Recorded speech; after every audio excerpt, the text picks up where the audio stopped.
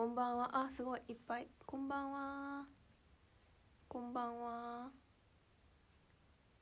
お。すごい。あれ？こんばんは。これコメントどうやってやるんだ？こんばんは。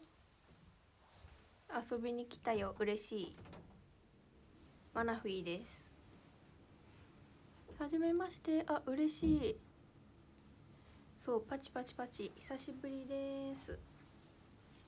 あできたできた。あ嬉しい。皆さん今何してるんですか？こんばんは。なんだ？お久しぶりです。わ嬉しい。みんな見えてる聞こえてるのかしらね。嬉しい。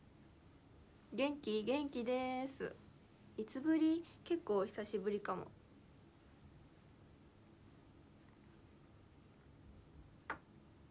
ヘアスタイル似合ってる。嬉しい。待機してました。嬉しい。ショールーム。あそりゃそうか。皆さん何してるんですか？って言ったらみんなショールーム見てるよ。かっこ笑ってきた。そりゃそうか。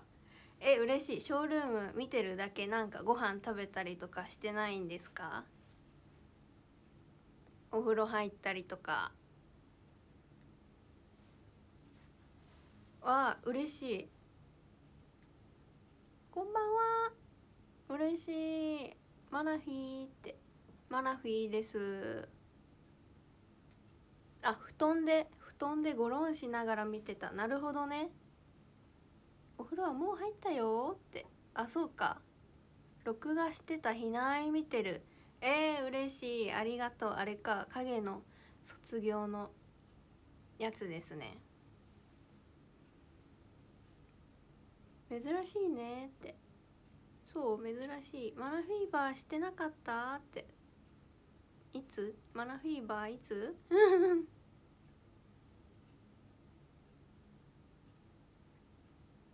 そうそれは思ってるで。クイズよかったよ。あクイズね。あれね。卵ダンス？卵？卵？卵？卵？あれ絶対卵ですよ。本当に。卵だったのよ。あれ実は。本当に。目玉焼きだからね。っていやあれあの影の卒業のセレモニーで久しぶりにやったやん。あの夏色のミュール。その時に久しぶりにあの久しぶりにやるからって言ってリハーサルやったわけ。そしたらそのダンスの先生がこの振り付けになった時に「卵？卵」って言ってたの。ガチで。これほんまに。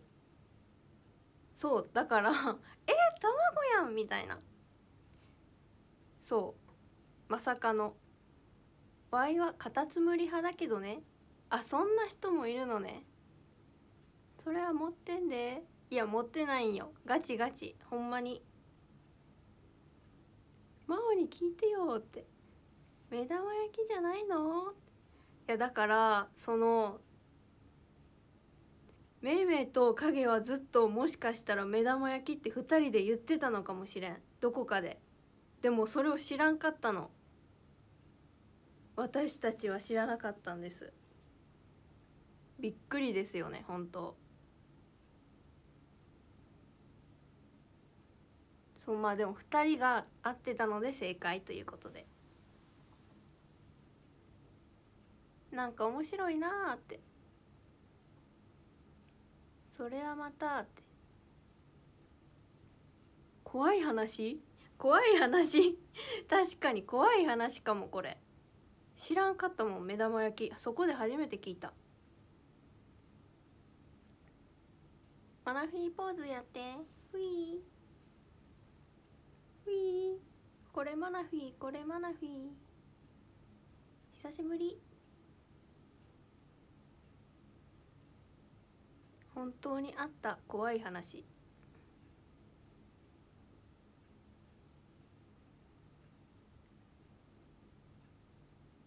おマナフィーさん。今日はマナフィーヘア？マナフィーヘアはマナフィーヘアはあれだ。このシナモンシナモン。編み出したんです。マナフィーヘア。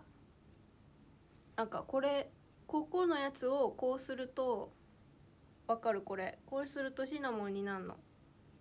ぽくない？シナモンっぽい。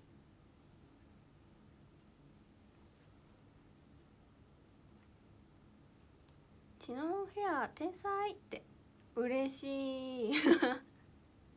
めっちゃ可愛いね。嬉しい。それは持ってんでですか？本当に言ってますか？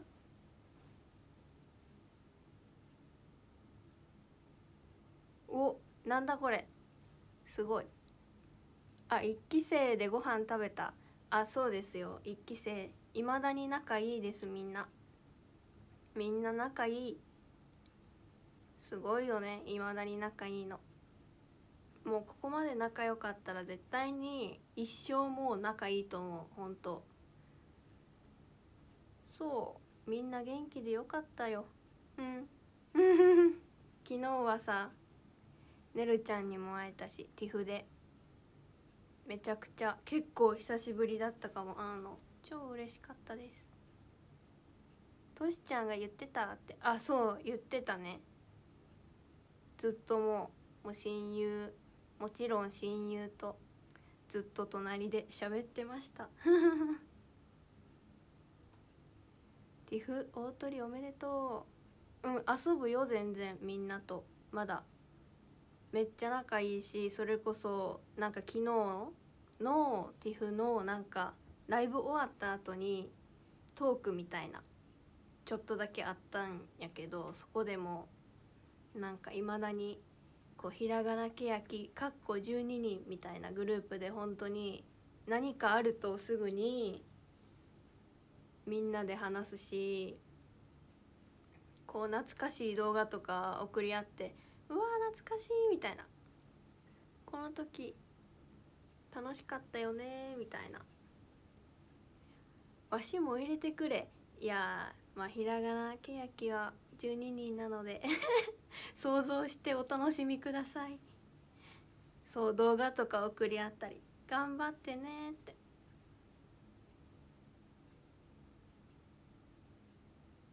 ないちゃん妄想はかどる？本当？本当ですか？みんな友達？そうずっと友達。ご想像にお任せしますと。分かりました。みんな元気だった？って元気だったよ。みんなもうめっちゃ元気ですよ。相変わらず。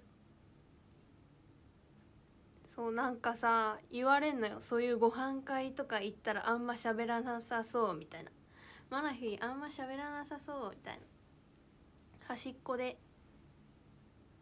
なんかちょこっと親友と2人で話してるんでしょ？みたいな。いやいやって感じ。なんかほんまになんかそういう時めっちゃ喋っちゃうの。なぜか。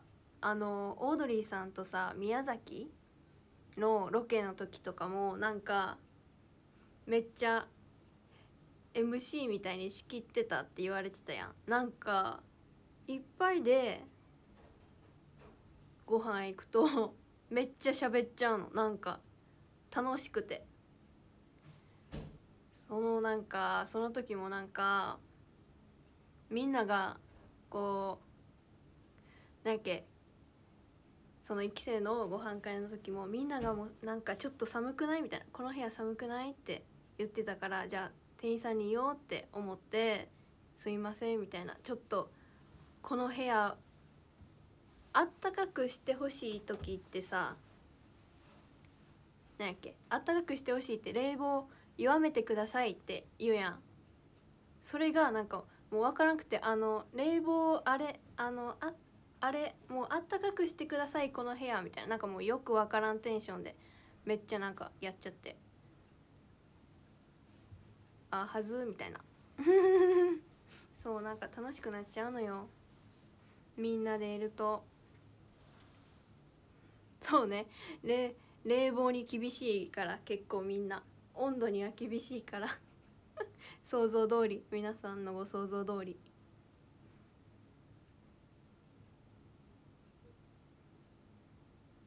あ温度上げてくださいって言えばいいんだ。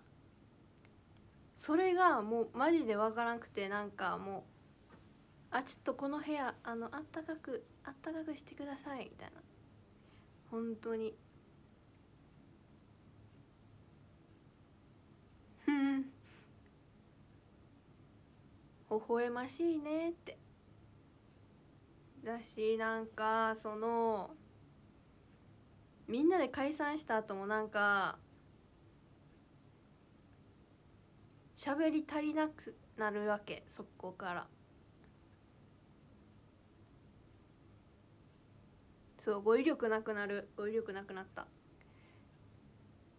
あこの配信のハッシュタグえ？何にします？あまあでもハッシュタグ高瀬マナーではぜひ つぶやいてください皆さん。えでも今ってつぶやくって言うんですか？なんて言うんだ？X してくださいみたいな。皆さんぜひこの配信がいいなとか今見見てるよって方ぜひねハッシュタグで高瀬マナで広めてください。あハッシュタグマナフィールーム？ハッシュタグこれマナフィー？ハッシュタグマナフィーバーはめっちゃあるやん。絶対統一した方がいいよな。これ。あだからみんな二次会とかに行くんだよ。あなるほどね。喋り足りないからね。でももうねみんないろいろとあるので次の日も健全に解散して。でももう喋りたすぎて誰かに電話しようかと思ったけどさすがにちょっとやめました。揃えましょうって。なんかね全員全然違うこと言ってる。ハッシュタグ。あマナフィールーム。あ全部ひらがなでマナフィールームにしよう。いいやんいいやん。あハッシュタグマナフィーバーの方がいい？あマナフィールームでいいよって。あじゃあハッシュタグマナフィールームでお願いします。あルームルーム。そう伸ばし棒ルーム。いいねって。ええやんええやんって。えじゃあ皆さんぜひお願いします。これででも全然話題になんなかったら悲しい。まあいいや。でもなんかその統一感あっていいですね。楽しい。お1万人突破した。嬉しい。ありがとうございます。もう早速 X したよ。あ嬉しい。フィー CC フィー。後輩と。あ後輩と仲いいですよ。もちろん。もちろん仲いいです。もちろんなんかでも本当にお出かけするだけが仲いいわけじゃないのよこれは分かってほしい。めちゃくちゃ会ったら超喋るしみっちゃんとのエピソードみっちゃんは結構喋りやすい。てか喋る結構。こないだも喋ってなんかありがたいことにね髪の毛がすごい綺麗で羨ましいですみたいな言ってくれて何こうこれ使ってるよとかアイロンはこうしてるよみたいな教えてあげました。そうそう。でもひいきメンバーとかはないですよ特に。みんな可愛いので。可愛い。わミッフィーあミッフィーいいね。可愛い。みみっちゃんとフィーさんってこと？かわいいね。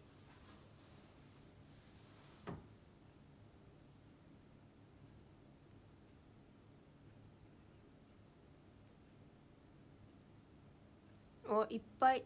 いじられるの？って。いじられいじられまではしないよまだ。さすがに。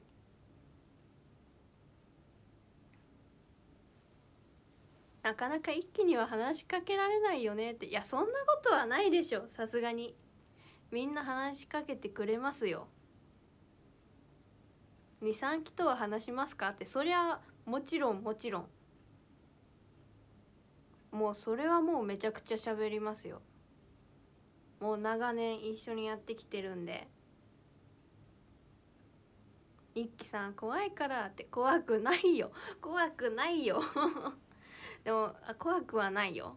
本当に。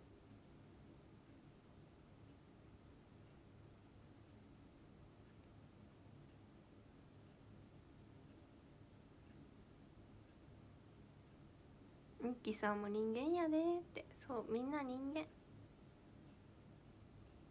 みくにんとのエピソードみくにん仲いいですよ。でも最近気づいたの。高瀬愛菜と高橋みくにで一緒なの。T と M で。すごくない？すごくない？結構でもフォーメーション近いから話すようになったかも。意外となんかこうラジオとかインタビューとかも一緒にしたから。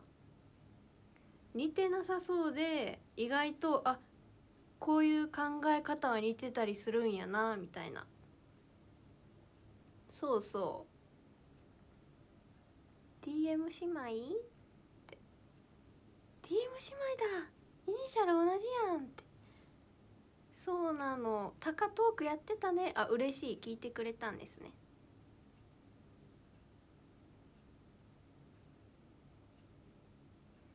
やっぱメミフィーが一番だったなって。え、嬉しい。でももうそれはもうね殿堂入りということでいまだに仲いいので。月刊エンタメ読んだよ。嬉しい。かたかとしとはバチバチ。バチバチバチバチだっただったかな。過去形。あのレコメンがの時代たまにこう呼んでいただけたりとかもしてた時代はバチバチだったんですけど今はもう仲いいこと公認してます。今はってビジネスじゃんって。ビジネスあそうですね。ビジネスバチバチ。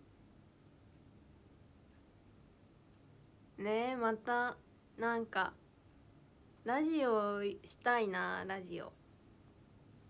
なんかあのちょっと前に「頂点」っていうゲームの番組にほんの少しの期間こうレギュラーで出させていただいてたじゃないですかそれが終わってからこう何か定期的にあるって言ったらいないぐらいなんでまたねなんかそういうレギュラーで何かあるっていうのはすごいいいなって何かできたらいいなって思います。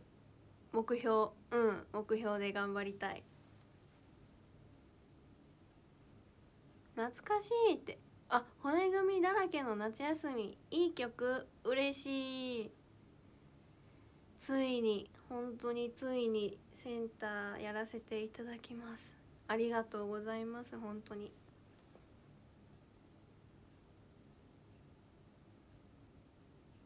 今やりたいこと。あそうね。なんかでもユニット曲はまあ日向坂になってからまだ一個もなかったんで絶対にやりたいっていうのは言ってて。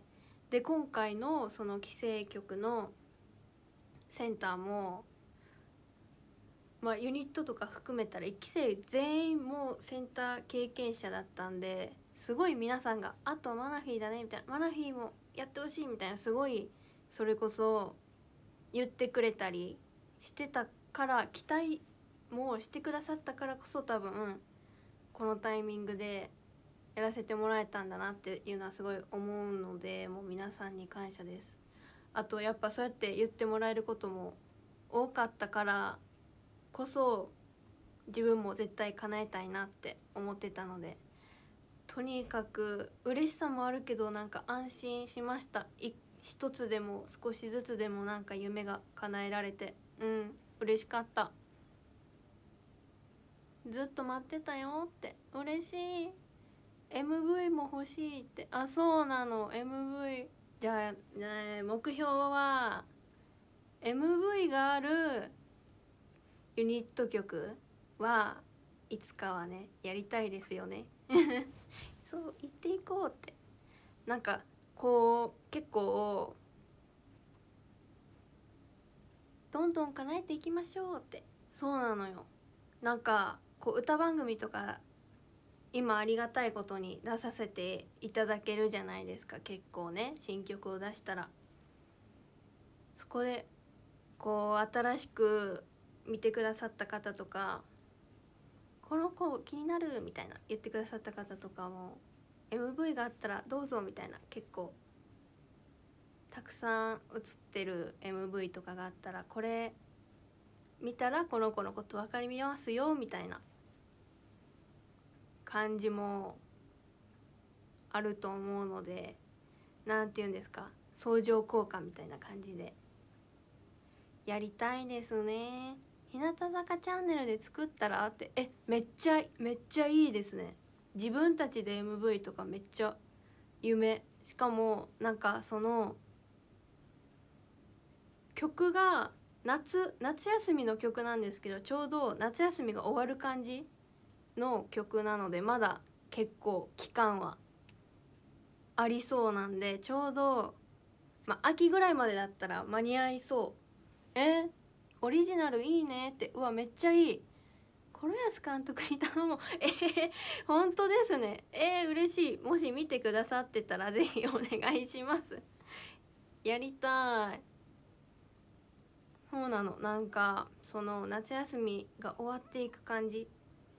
海の家とかも骨組みもう畳まれていく時期の歌なんで。え見てる？えコレアス監督見てくださってるの。えー、嬉しい。えー、こんにちは。え大丈夫かな？獅子みたいになるかな？大丈夫かな？ありがとうございます。ぜひまたよろしくお願いします。なんか機会があれば本当に。なんか最近こうご一緒してないのでまたそういう機会があれば本当に。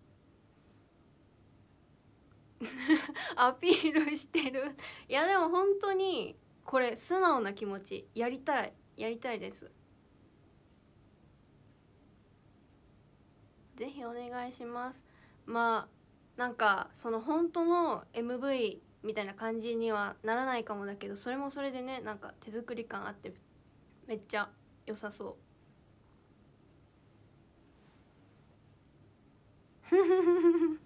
ぜひよろしくお願いします。あ YouTube でやりたいこと？やりたいでもいっぱいありますやりたいこと。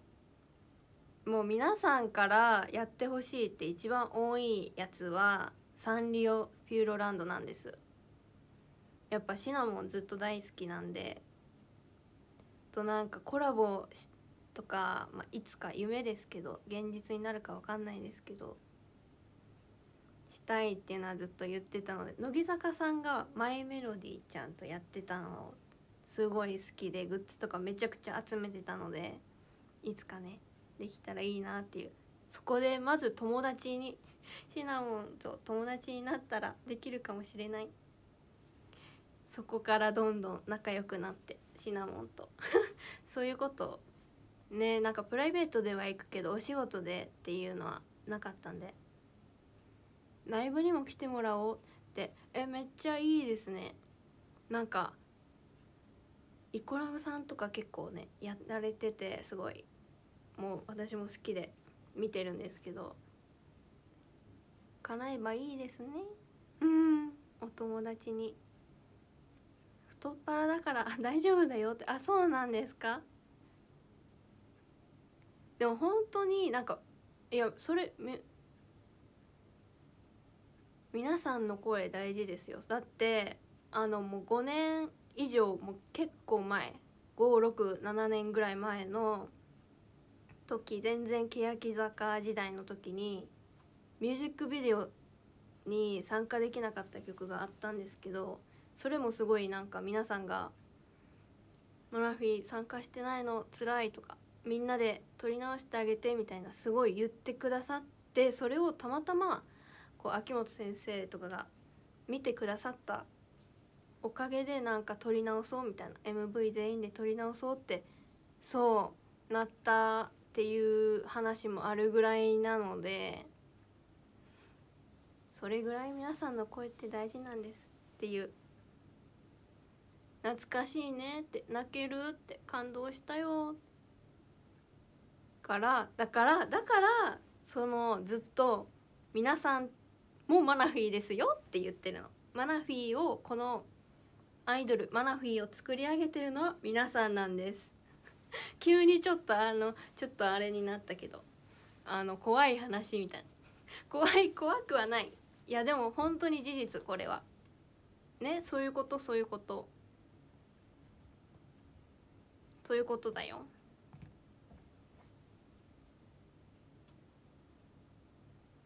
俺たちがマナフィーだって。そうそう。怖い怖いって。怖い？え？ー、まあ怖いと思った方はぜひハッシュタグ高瀬マナで つぶやいてください。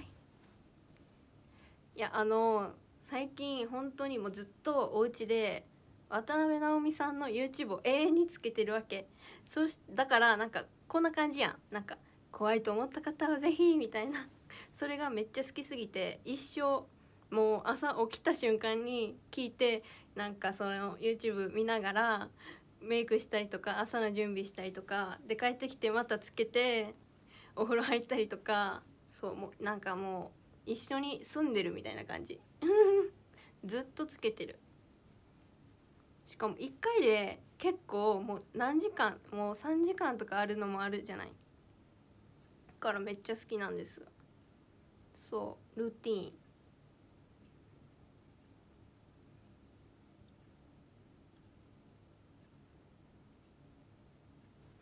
住んでる一緒に住んでるの？って。そうなんだ。コラス監督反応してるよ。ありがとうございます。あそうそう。YouTube で。あそうなの。サンリオ以外にもめっちゃもうやりたいこといっぱいあって。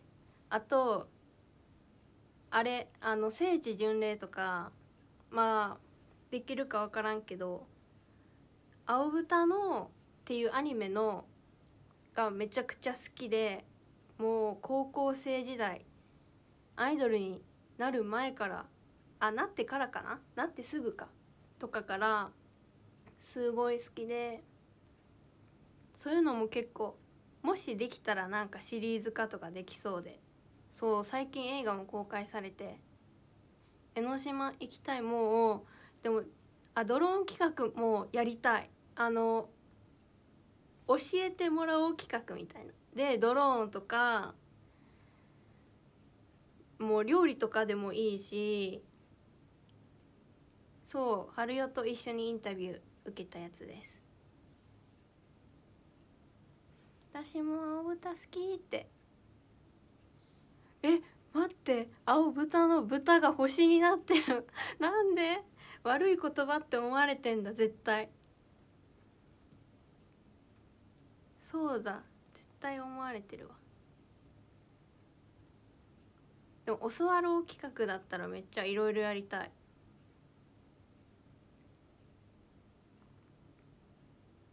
マシュマロキャッチ。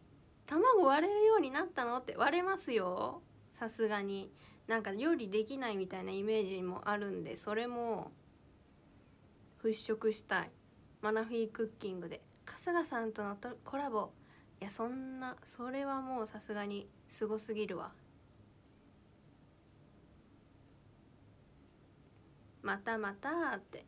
いや本気出せばできるよ。本当に。えできるんですかって。またご冗談を。いや本当に。あそうだ。ハッシュタグ。マナフィールームね。マナフィールームも大事だ。忘れてたわ。ハッシュタグマナフィールームもぜひよろしくお願いしますステッカーもらって泣いたの。あそうなの。泣きました。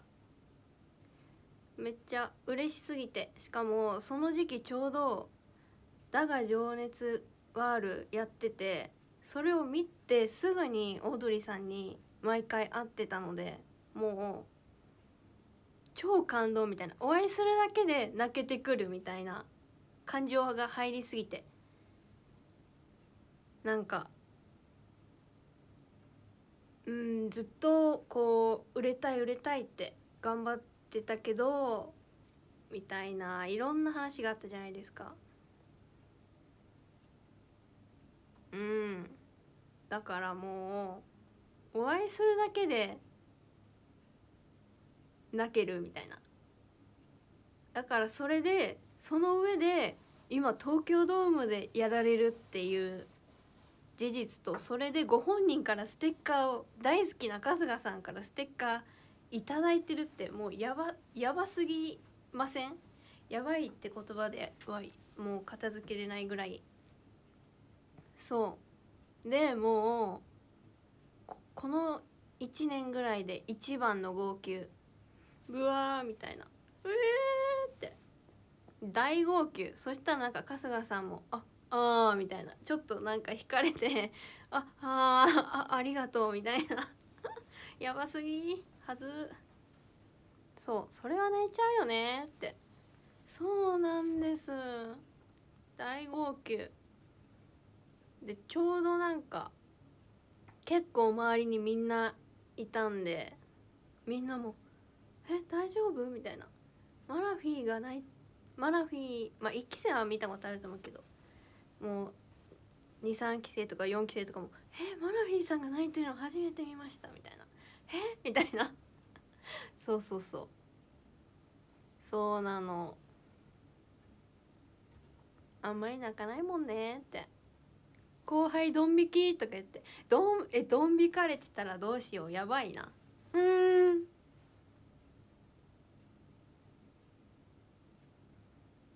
そうなんです。あんまりね泣かないわけでもないんですよ。うん。泣く時は泣きます。え行きたいですよねオードリーさんの東京ドーム。行きたいです。そりゃそうだ。マナフィーも人間だったんだねって。逆になんだと思ってたんですか？人間ですよ。めちゃくちゃ。でもマナフィーはマナフィーという生き物です。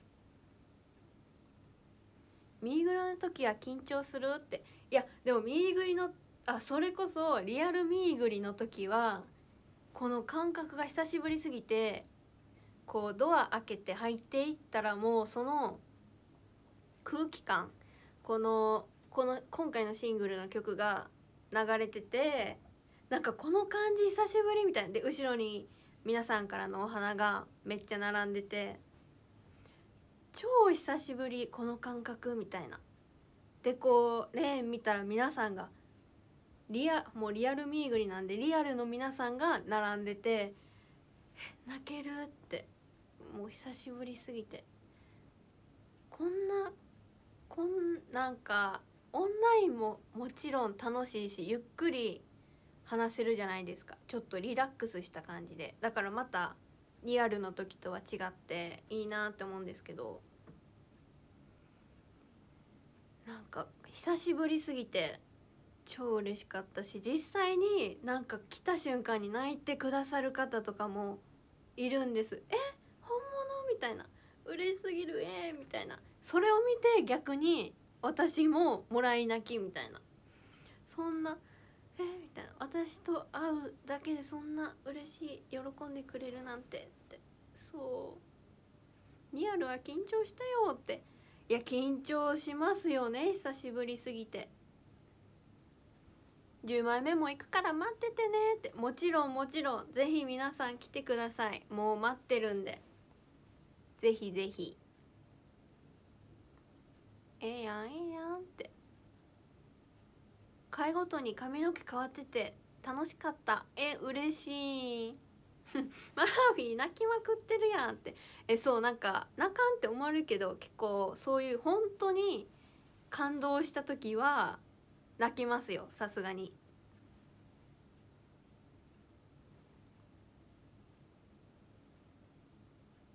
大阪でもある。えそう今回大阪でもある。超楽しみ。地元なんで。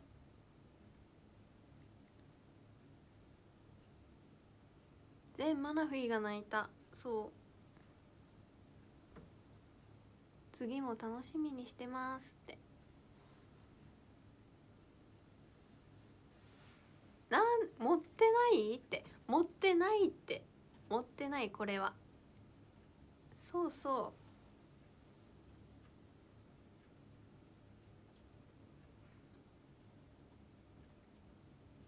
う。大阪？大阪何食べればいい？えやっぱたこ焼きたこ焼きでしょ？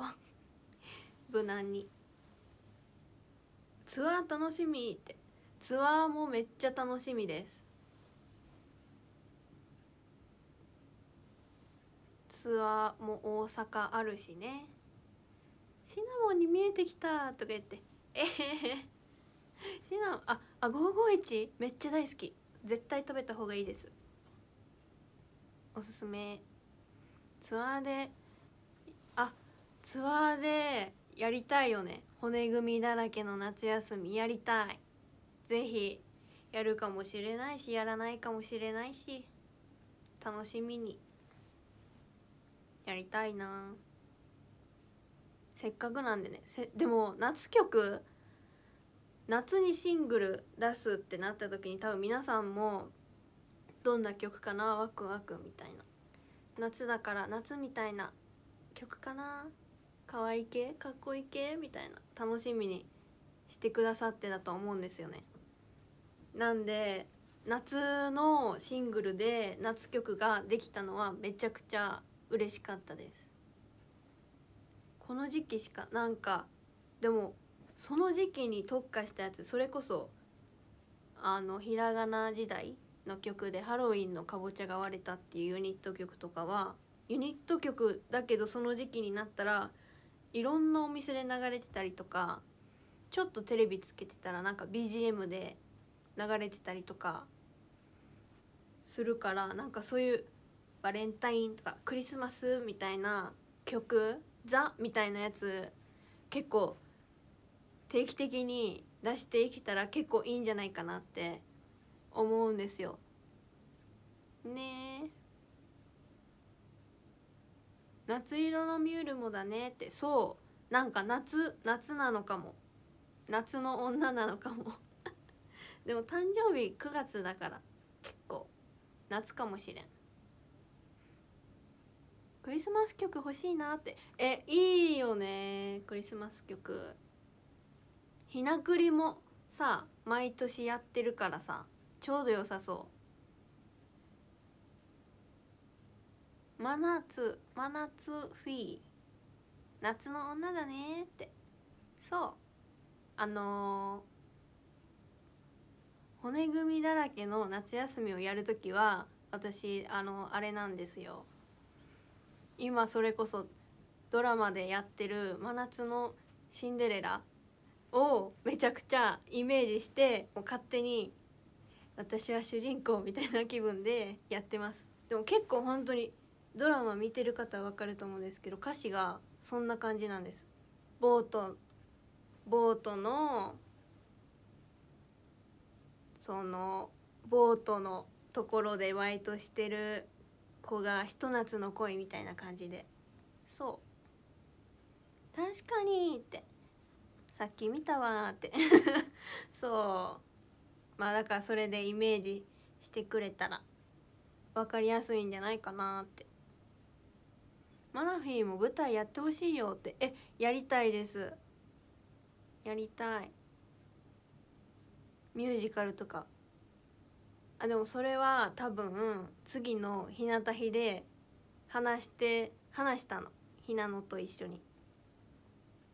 だからぜひ多分多分ほ放送？なんていうの？されると思うんで聞いてください。マナヒー。宣伝上手だねって。あ嬉しい。ありがとうございます。楽しみって。お聞く聞くって。日向フィーショールームを定期的にやってほしい。えやりたいですね。なんか誕生日おめでとうって言った。誕生日じゃないよまだ。誕生日じゃないですよ。やってやってって。ひよたんとの会面白かったよって。舞台やろうよって。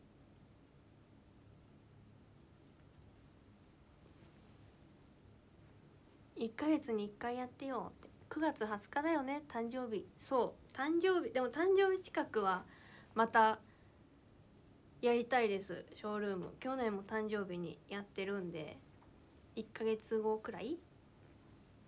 メイクかわいいねって。本当ですか？嬉しい。ありがとうございます。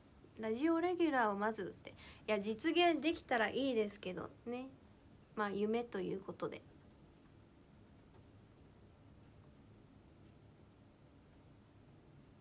アラヒは髪染めないの？って。染めてます。染めてるんです。これ。でも染めてるんですよ。知らんかった？今日何してたの？って。今日はでもダンスしてましたよ。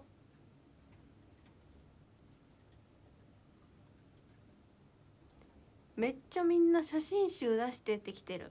えー、すごでもいつかは出したいですね。やっぱり。この今の自分を残すのはすごい。記念にもなるしね。ピンクに染めてってめっちゃみんなピンクえー、でもすごい。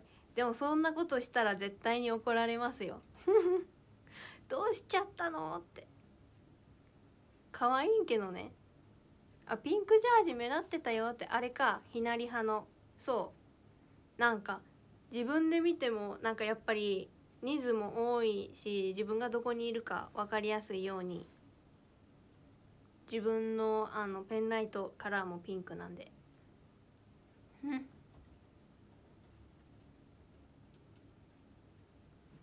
ピンクいいかもって。反抗期？って。1日限定なら大丈夫だよって。1日だけピンク。インナーカラーいやそのあれよなんかこう曲のイメージとかもあるんでね。でも最近でも今回の曲やったらもしかしたらよかったかも。今回の曲は結構可愛い系やったんで髪の毛とかも毎回変えてて実は。マラヒーハーフツインが一番似合ってる。嬉しい。ありがとうございます。あ今日カフリンの誕生日。おめでとう。おめでとうございます。カフリン推しの皆さんもおめでとうございます。いやそう。でなんで今回はさすがに「月星」とかさそういうクール系な曲でさこんなツインテールとかやってたらちょっとあれじゃないですか。でも今回の曲はもう衣装も可愛いしなんかこう皆さんに楽しんでもらいたいなと思って毎回変えてたんですよ。実は。そう。黄色のリボン可愛かった。ありがとうございます。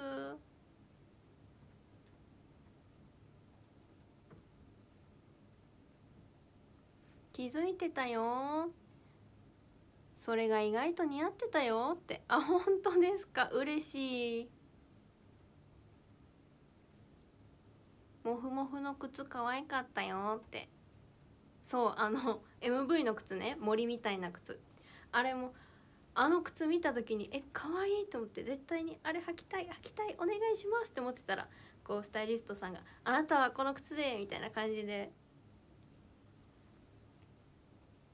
言ってくださったんでやったってトレンドにも入ってたよっていやそう嬉しいです本当に。なんか歌番組とかで今回すごい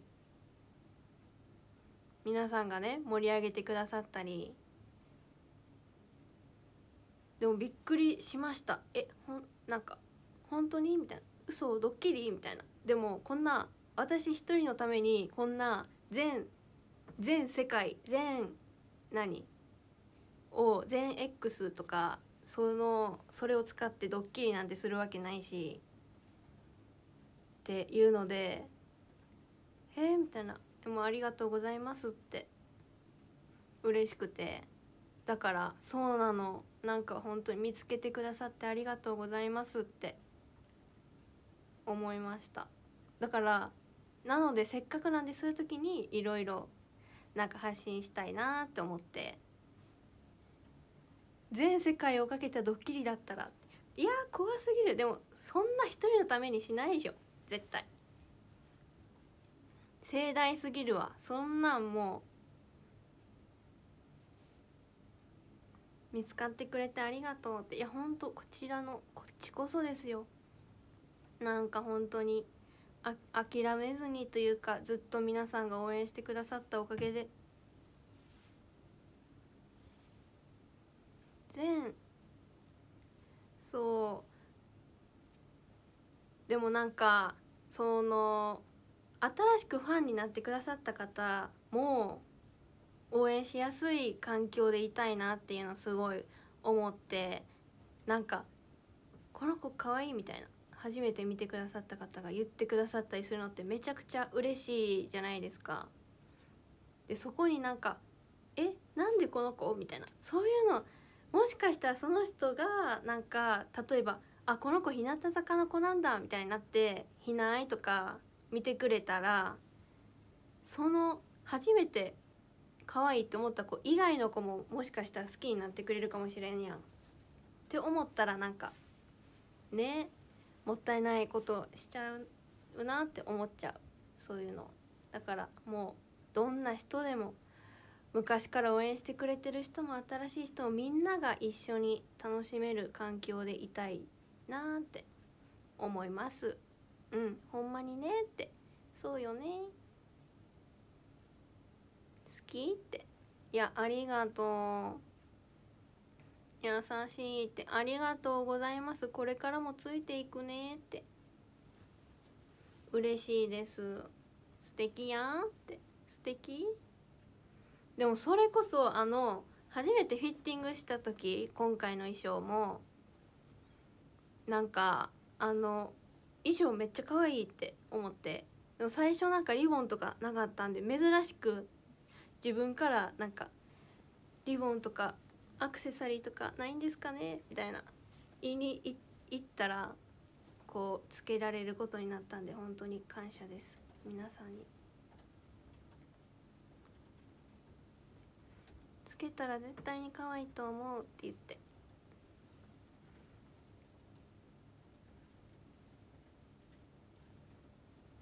だからよかった。そうやって言って。なんかこういろいろリボンとかもついてそれがこうなんかね結果いい結果になったんでよかったんです。ナイスって。そう間違いなかったわ。言ってよかった。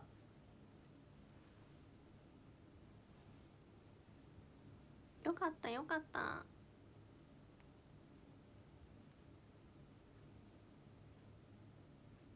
そうカチューシャとかみんな可愛い今回の曲。もうひなのにもぴったりだし。でも昔結構あの皆さんご存知の鬼教官さんがいらっしゃった時に結構どういう路線で行こうみたいな話してた時に意外とこういうめっちゃ、まあ、サンリオとかちいかわとかもうめっちゃ人気なんで皆さん好きだと思うんですけどこういう特化して好きな人もう昔から好きですみたいな人そういうキャラみたいなマナフィーぐらいやしなんかそういうそっち系っていうんですか。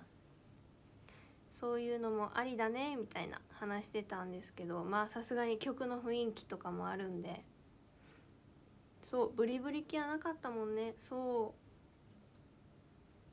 可愛い系？そうそうそう。だからそれがなんか今回できる期間になって少しでもいい方向に行ってたんだとしたらなんか良かったなってその数年前の話が今こうちょっとずつっていうのは良かったなって。そう。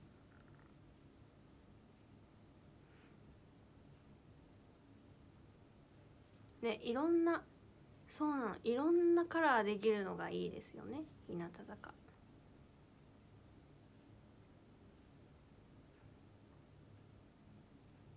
いい話やそう。よかった。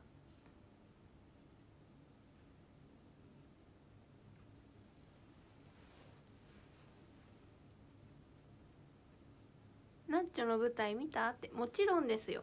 もうみんな幕が上がるも見ましたよ。幕が上がるとかそれこそあのももクロさんめちゃくちゃ好きって話してたじゃないですか。その時から見ててそれをメンバーが日向坂のメンバーがやるってえー、みたいなめちゃくちゃすごいって思って見に行ったし筋のももちろん見に行く予定です。えあと10分。えー、やだやです。やだやだ。待って。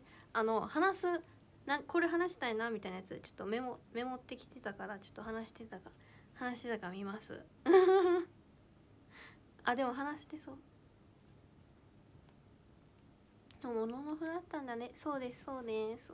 早早すぎる。なんかこれ話してないよみたいなやつ。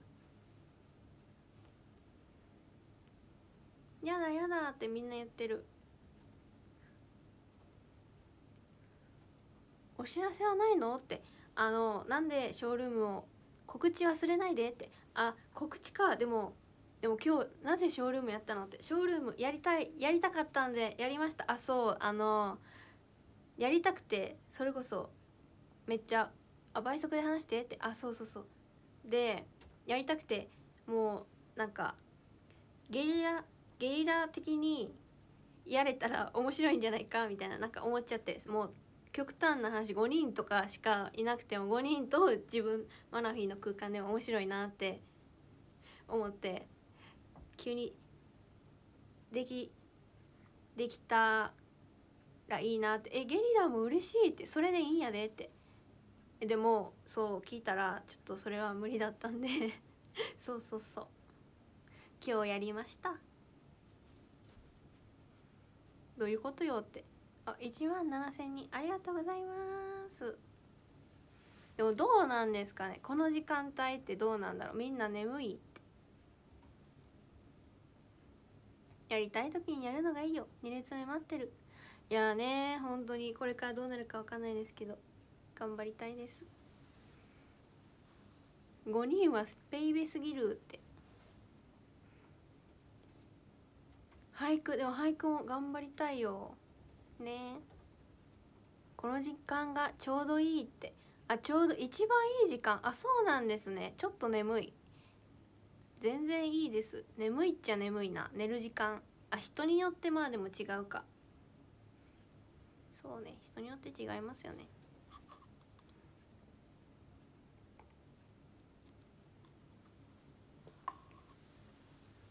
誰かと一緒に行って。ああ一緒にね一緒にもいいですね。もずく飲んでるの？もずくじゃない。あなんでしょう。クイズ。なんでしょう。正解した方にプレゼントあげます。お水って。ノーノーもずく？ノー青汁？ノーセンブリ茶？ノーノーお茶？あ惜しい。何？じゃあヒント。お茶。何茶でしょう？お茶何茶ほうじ茶の紅茶のののルイボスティー。ああ正解いた。おめでとうございます。一人だけいた。あーどんどん来た。正解ジャスミン茶でした。プレゼントフィーフィーを差し上げます。フィー大量のフィー。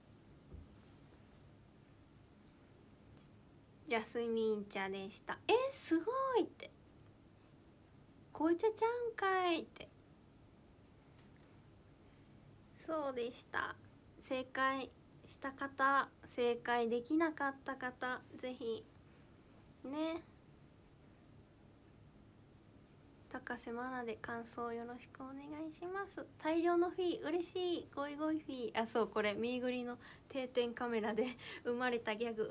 ちょっとあのゴイゴイスのちょっとパクリみたいになってるんであれなんですけど。フィーフィーフィー差し上げます。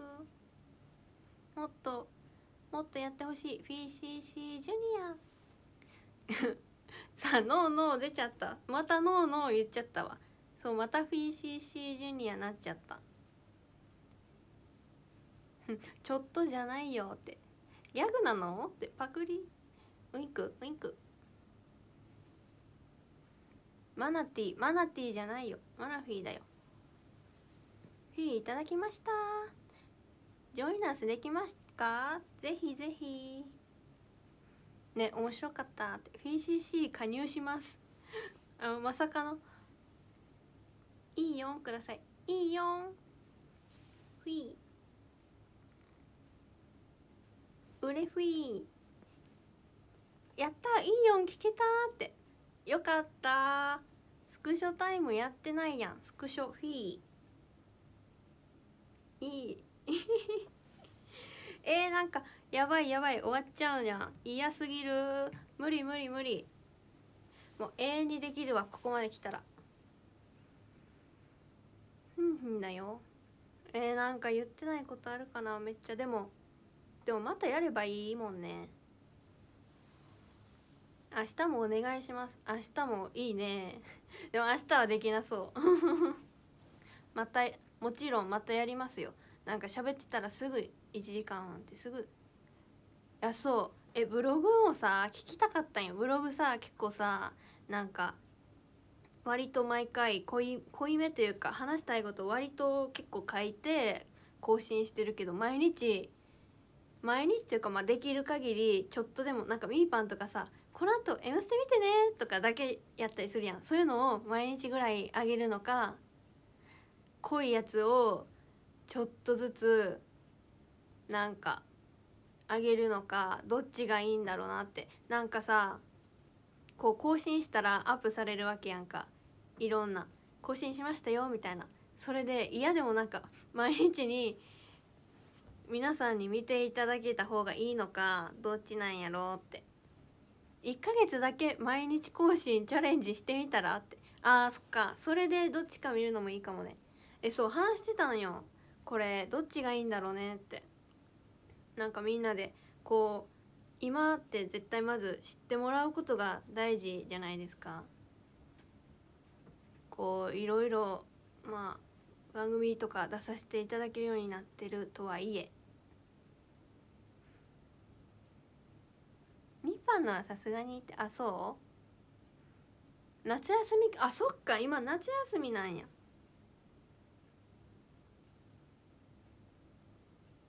マラフィーが負担がないのでって。大したことじゃなくても毎日やってほしい。えー、そうこの間ちょうどトシちゃんとみーパンと話してたんです。毎日やるのかどっちがいいんだろうねって。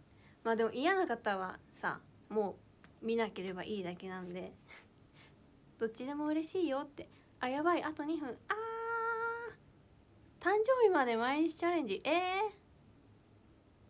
ー、あそうなの。X で通知されるからねって。そうそしたらさなんかあの見ていただけるじゃない写真とかだけでも。たまに嫌でも出てきたりするんでそれでなんか広まってったらいいなって一言でも続けるのが大事だって。あそう短いと見やすいね。本当メッセージはもちろん送るけどメッセージって本当に自分のことが好きな方が多分多いかなって思うからプライベートの話とかそれこそ「今日は何々だね」とかさなんか特別感。ブログこう知らない人に知ってもらうためにはブログかなっていう。そう。嫌なわけないよって。あと1分やで。えやばいやばい。えじゃあちょっと考えますね。またなんかまあいろいろレターとかで教えてください。どっちがいいか。あと1分。ブログは大事だねって。あこの子のことよく見るっていうのがまずは大事。あそうね。そうですね。延長してよって。あでももうもう1分1分。えー、楽しかった。なんか話久しぶりすぎたけど話し始めたらもうなんか一生話せます。これからって感じ。なんかもうあのご飯会の時もそうやけどこれからまたこの後いっぱい喋りたいっていう気持ちです今。ありがとうございました。楽しかったよ。楽しかった。なんかもっといっぱい話しか話したかった。話したりないぐらいがちょうどいいねって。そうですね。あなあありがとうございました。この時間にたくさん皆さん見に来てくださったり盛り上げてくれて。またそうまたやります。頑張ってね。ありがとう。ありがとうございました。絶対またやります。ハート。ウィー。また会おうね。ありがとうございました。またするときはぜひ絶対見に来てください。ありがとうございました。バイバイ。ウィー